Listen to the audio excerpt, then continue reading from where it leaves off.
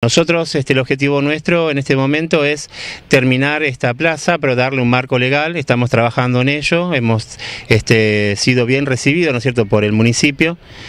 Em, empezamos ya estos trámites tendiente a que las autoridades este, puedan darle un marco legal a, esta plaza, como recién dije, y también este, como sociedad de fomento. Hemos este, fundado una junta vecinal que se va a hacer la sociedad de fomento de Agua de Oro, también está en trámite eso y tenemos la colaboración de los funcionarios. Hemos sido bien recibidos, de eso estamos muy contentos y muy agradecidos, ¿no es cierto? Volviendo al tema de la plaza, esta plaza se llama Jonathan y Marcela, el nombre se debe a en memoria eh, como una forma de justicia eh, para poder recordar eh, a ellos, este, de Jonathan y Marcela, los chicos que fallecieron aquí en la esquina de la Escuela 12 ante ese incidente que creo que todo el mundo ya, ya recuerda.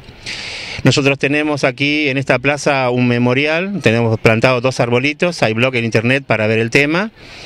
Y en esta plaza este, la hemos dotado de veredas internas, una, veredas internas que este, delimitan en sectores. Tenemos un sector que es el sector de jóvenes, que tenemos proyectos para desarrollarlos, para que nuestros jóvenes puedan quedarse en Agua de Oro y no tener que ir hasta eh, a Rodríguez, tenga una alternativa para quedarse acá.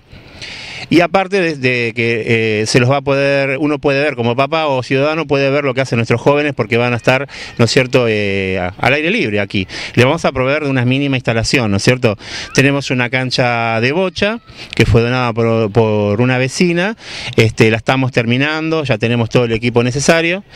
También tenemos un sector de vóley, que también en la misma cancha de vóley se la va a modificar eh, de a poco para que pueda funcionar básquet si fuera necesario, y la famosa cancha de fútbol, que es bastante grande, bastante amplia, donde también va a funcionar eh, el equipo de hockey femenino, que ya tenemos entrenadoras, Está, está abierta la inscripción para que puedan este, las chicas del barrio y niñas también pueden formar parte del, equipo de, hockey. Hugo, ¿con qué recursos están haciendo todos estos trabajos? Bueno, los recursos básicamente eh, son nuestros, de los vecinos, sale este, eh, de la plata de, cada casa, de cada, de cada vecino, ¿no es cierto? Eh, una de los, este, y de uno de los trabajos más grandes es nuestro centro cultural, me olvidaba, tenemos un sector de juegos de niños que también se está desarrollando, este, se están construyendo otros juegos más, lo hemos hecho nosotros, y tenemos nuestro centro cultural.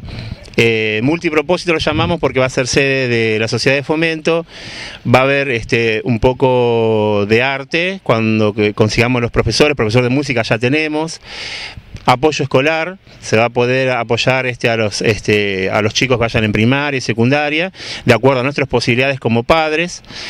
Y también se va a promover, este, se va a promover en pequeños seminarios, este, pequeños programas cortos, este, lo que es tecnología la tecnología aplicada este, a, las necesidades que podamos tener nosotros, por ejemplo, que puedan aprender un poco de mecánica, un poco de electricidad, electrónica.